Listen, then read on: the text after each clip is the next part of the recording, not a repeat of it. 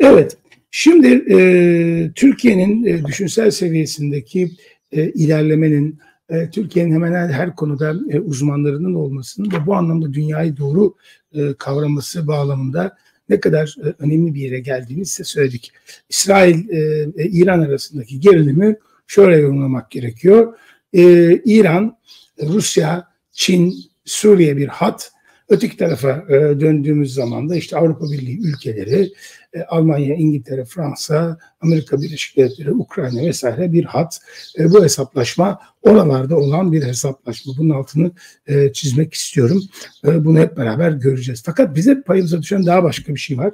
Ben de o gün herkes gibi merakla ekran başına geçtim ve dünyada en güvenilir kaynağın e, gerçekten e, bizi e, en azından e, kişinin e, geçmişi, e, duruşuyla bize her zaman e, doğru söyleyeceğini düşündüğümüz bir isimden izledim ben.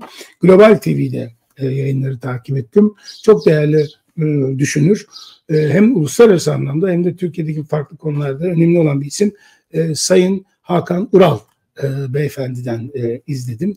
Hakan Ural beyefendinin gerçekten e, İran misilleme e, saldırısı hakkında e, çağlara e, tüm gece boyunca değerlendirme e, yapması e, ve e, bu bağlamda da bize yol göstermesi.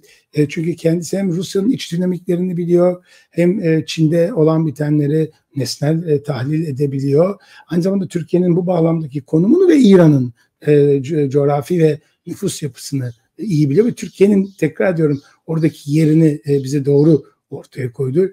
Filistin'in tarihini, Filistin-İsrail arasındaki gerilimin tarihini bunu bildiği gibi diplomasi bağlamında Birleşmiş Milletler neye tekabül eder, Amerika'nın oradaki etkisi bunları tane tane e, anlatıyor yetmiyor. Bence o da çok e, ayrıca önemli. Bu füzelerin hangi koşullarda atırabileceği ve silah sanayindeki yeri ve önemini de bir kez daha dile getirerek bana yeni e, kapılar e, açtı düşünsel e, olarak. Arada bazen e, hangi programda e, olduğunu e, şaşırdığı ve e, Acun Ilıcalı hakkında güzellemeler yaptığı, futbol, faul, 3-5-2 konusunda e, örneklendirmeler yaptığı, gerçi bunu galiba 3-5-2, 4-4-1 vesaire e, ya da efendime söyleyeyim e, Murat Kurum'un nasıl önemli bir insan olduğunu arada söylerken e, Çağlar'a sorup Çağlar tarih neydi? Hangi programdaydık? Ben ne söylüyorum? Durum nedir gibi e, karışıklıklar olsa bile ben bunu bir düşünürün zihinsel yoğunluğu olarak kavradım ve e, Zuhal Kalkan delinde açıkçası kırıyorum.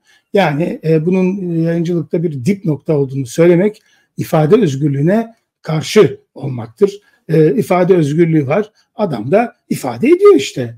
Askere gitmemek için zaten çürük rapor aldığından yargılanıp hüküpken Hakan Ural'ın İsrail-İran Savaşı'nı yorumlaması seyircileri hakaret ediyor demiş. Yine Zuhal'i e, kılıyorum. Bir sor. Niye askere gitmedi? E, çünkü kendisi militarizme tamamen e, karşı bir sivil direniş e, gerçekleştirdi. E, bunu yaparken e, o dönemde askerlikte harcayacağı boş zamanı bir düşünür olarak askeri stratejiler e, konusunda entelektüel bağlamda geliştirdi. Ama Zuhal utanmazca, terbiyesizce e, gerçekten e, bunu yapıyor. Günün bombası yeni bir duayen doğuyor demiş Suzan. Aynı sıkletteler. Zulal'le ilgili söylediklerim ironidir. Sonra bunun da bokunu çıkarmayalım. Efendim, fakat ben o gece Çağlar'ın da ciddi ifadesiyle hmm, aa, Mesela Çağlar genç bir e, kardeşimiz, e, gazetecilik yapma emeği veren, mücadele eden bir kardeşimiz.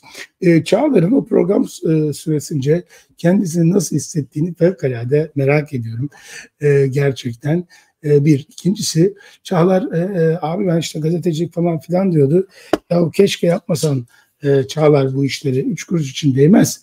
E, o nasihatı da ben abi olarak vermiş olayım eğer abiden sayarsa gerçekten giderek Hakan Ural bağımsızlığını ilan etti. Hayaldi, gerçek oldu.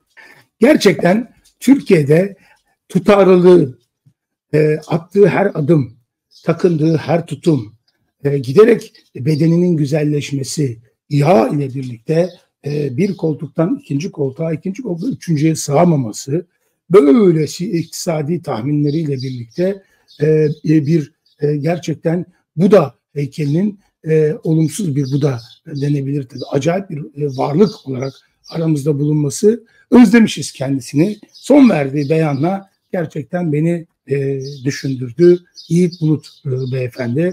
E, Arapçada bir laf vardır söyleyemiyorum. Yemiş yemiş de çıkaramamış gibi bir laf e, bu Arapça.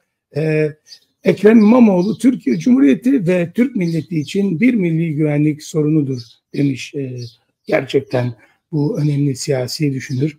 Vallahi o kadar önemli bir konuya işaret etmiş ki neden? Ancak Ekrem İmamoğlu'nun ne oranda sorun olacağını kişi kendinden bilir. Düşünün ki Ergenekon balyoz e, sürecinde e, o e, meselede kendisi itirafçı olmuş, yakalanmamak için teknelerde saklanmış. Daha sonra Recep Tayyip Erdoğan Bey'in önüne gidip diz çöküp yalvarırım beni istediğiniz gibi kullanabilirsiniz, içeri atın, atmayın demiş.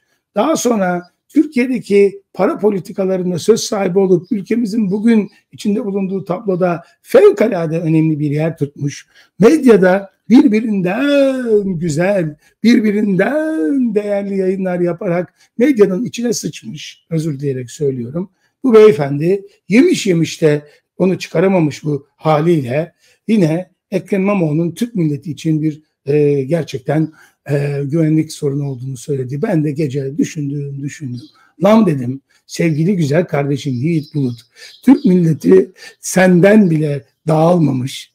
Güvenliği senden dolayı bile senin sandığın gibi yok olmamış. Sana dayanmış bir Türk milletinden e, Ekrem İmamoğlu'na dayanmak hız gelir, tırız gelir. Onu da halleder. Sen daha rahat ol güzel kardeşim dedim. Türk milleti neler neler gördü. Kimler kimlerle beraber. Abi bunları gördükçe bu adamların medyadaki neler yaptığını bildikçe hakikaten çüş diyorum. Bunu böyle söylemesem de kendime haksızım. Birader bu kadar olmaz mı? Olmaz. Olmaz. Dahası da var.